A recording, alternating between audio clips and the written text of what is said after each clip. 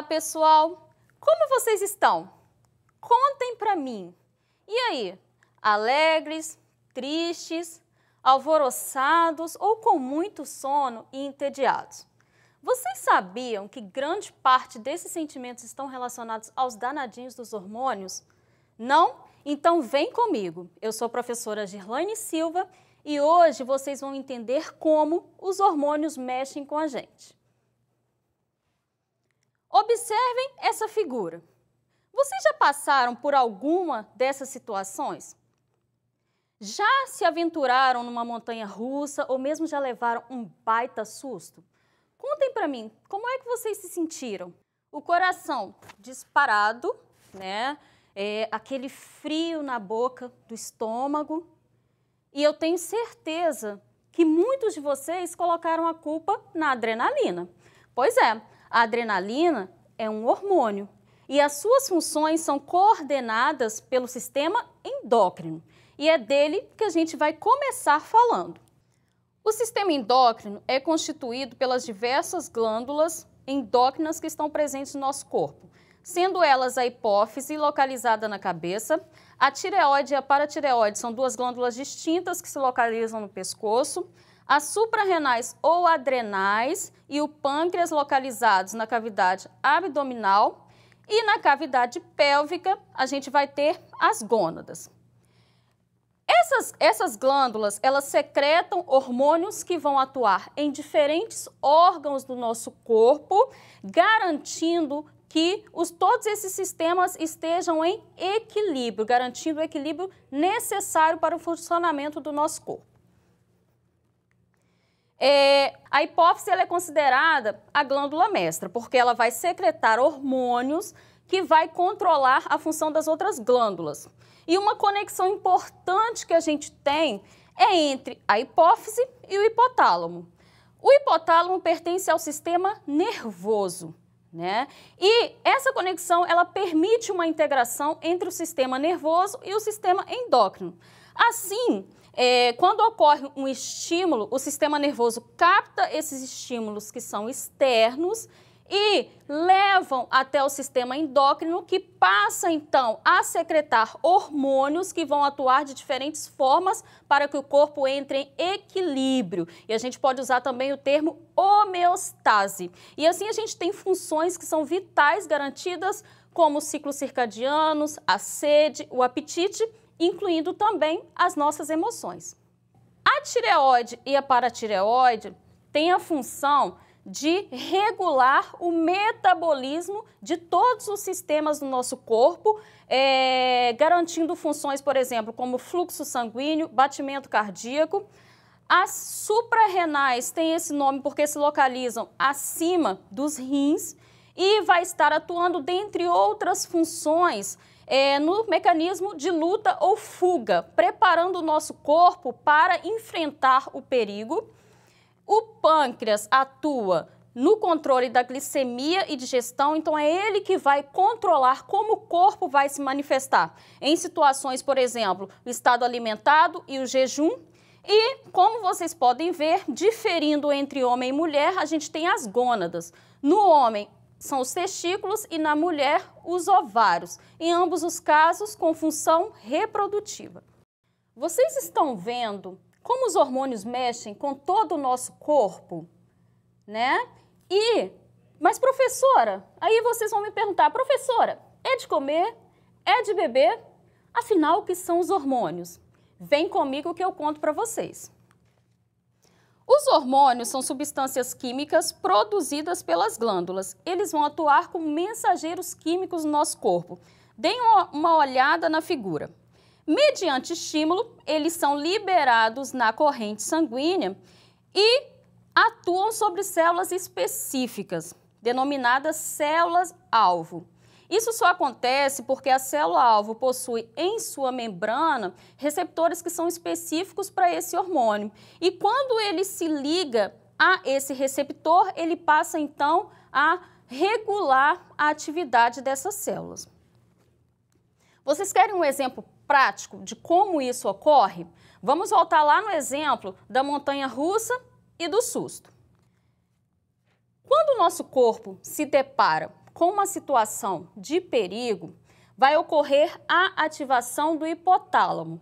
O hipotálamo vai é, estimular a hipófise, que passa a produzir um hormônio que vai pela corrente sanguínea até as glândulas, a glândula suprarrenal, as glândulas suprarrenais, né? E conta toda essa fofoca para essas glândulas. E aí, sabendo de toda essa situação, essas glândulas passam então a liberar um hormônio, a adrenalina. E essa adrenalina é tipo assim, ah, então é assim, né? Então deixa comigo. E aí ela passa a atuar em diferentes órgãos, aumentando o batimento cardíaco, é, aumentando a liberação de energia para o nosso corpo e também poupando energias em processos necessários. Então, quando você sente aquele, aquele nó na boca do estômago, na verdade é porque os processos digestivos ali estão diminuídos.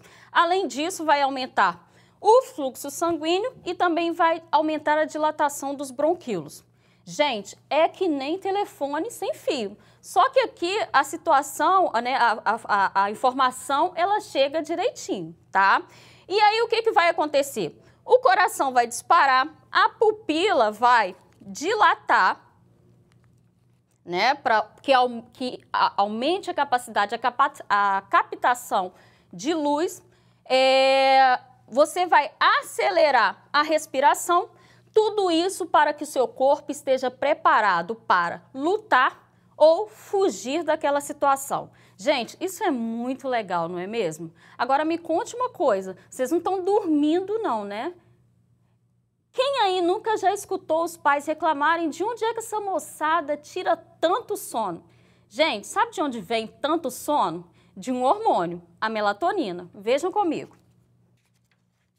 A melatonina é produzida pela glândula pineal e tem a função de regular os ciclos biológicos. Durante o dia, sua liberação vai estar é, diminuída, mas quando ocorre a interrupção é, do estímulo luminoso, né, quando a gente está no escuro, o sistema nervoso avisa para essa glândula, olha, já está de noite. E aí ela aumenta a produção de melatonina, que vai agir em diferentes órgãos, né, mudando o parâmetro de, desses órgãos para que eles passem a se comportar como tem que se comportar durante o nosso sono, estimulando funções, por exemplo, como o crescimento. Gente, acontece que é, na adolescência, a produção de melatonina, ela, ela ocorre de uma forma tardia. Então, essa vontade de dormir, de apagar, ela também vem mais tarde. E aí, acaba que o adolescente dorme mais tarde e se ele tiver que acordar mais cedo, ele passa o dia se arrastando com sono porque ocorre um atraso por todo o dia. Vocês estão vendo que esse processo, ele depende da luminosidade. Então, uma dica aí para vocês regularizarem o sono é desligar televi a televisão, o celular, o computador, para tentar dormir mais cedo, ok? Não, né? Não é um desafio fácil para vocês. Então, peraí que eu vou colocar um desafio mais fácil do que esse. Separem aí três fotos. Uma foto de quando vocês eram bebês, uma foto de quando vocês tinham 5, 6 anos de idade e uma foto é, atual. Tem alguma diferença? Muitas, né? Vocês vêm crescendo bastante é, em comparação a quando vocês eram bebês. E isso tem uma culpa, sabe de quem? De um hormônio, o do crescimento. Olhem só. O hormônio do crescimento é produzido pela glândula pituitária e age sobre músculo, tecido adiposo, ossos é, e fígado, é, levando a um conjunto de ações que irão garantir o crescimento ósseo, que o, que o crescimento ósseo ocorra de uma forma positiva. Ele é secretado em grande quantidade durante a infância e adolescência e em menor quantidade é, na fase adulta. Disfunções na produção desse hormônio podem levar a retardo do crescimento, como nanismo, ou uma alta regulação desse hormônio pode levar a um crescimento exacerbado, como gigantismo. Vamos voltar lá naquela situação da montanha russa? Professora, de novo? Sim, gente, de novo. Vocês, os sentimentos de vocês às vezes parece que estão numa montanha russa, cheia de altos e baixos, às vezes muito triste, outras muito alegres. Gente, isso é mais comum do que a gente imagina. E posso contar um segredo? Tem o dedinho de hormônio aí também. Sabe quem são? Os hormônios da felicidade. Atualmente, muito se fala sobre os hormônios da felicidade, mas na verdade, é, eles são conhecidos cientificamente como neurotransmissores, pois permitem uma conexão entre neurônio e a célula-alvo. Dentre eles, nós temos a adrenalina, que já conhecemos, noradrenalina, dopamina, ocitocina e serotonina. Observem na figura. O equilíbrio entre esses hormônios e a quantidade de uns em relação aos outros é que vai nos dar a sensação de maior felicidade, desânimo, agitação, ansiedade, enfim. A serotonina é o hormônio do amor, a dopamina são situações prazerosas e a ocitocina está ligado a vínculos é, emocionais. Gente, vocês sabiam que cultivar bons pensamentos, fazer exercícios físicos ajudam a liberar esses hormônios? Que tal vocês tentarem? Muito bem. Antes de me despedir, a gente vai ver que vocês aprenderam que o sistema endócrino, ele controla funções muito importantes no nosso corpo e tudo isso porque suas glândulas secretam hormônios que são porretas, né? E aí, a gente vai ver se vocês estão acompanhando mesmo. Esse é o consultório da doutora Ana, que é uma endocrinologista, uma médica que cuida de assuntos do sistema endócrino. Mas quem vai avaliar os pacientes são vocês. Um paciente que possui pouco desenvolvimento de massa muscular e do alongamento dos ossos pode estar relacionado a uma carência de qual hormônio? Claro, o hormônio do crescimento. Muito bem, né? E aí é isso, gente. Com tudo que vocês aprenderam hoje, que tal investir em atividades que vão trazer benefícios à saúde de vocês? Cantem, dancem, estudem e sejam sempre muito felizes. Eu já vou ficando por aqui. Até a próxima aula!